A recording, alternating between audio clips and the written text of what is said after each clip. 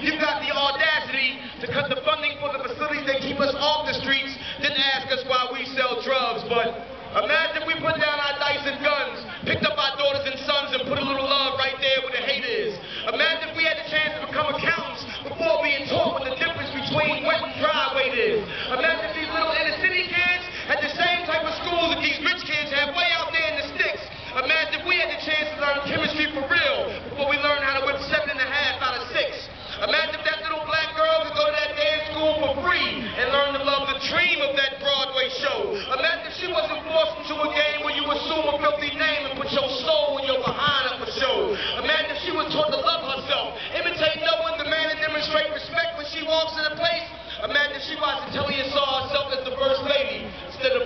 video face.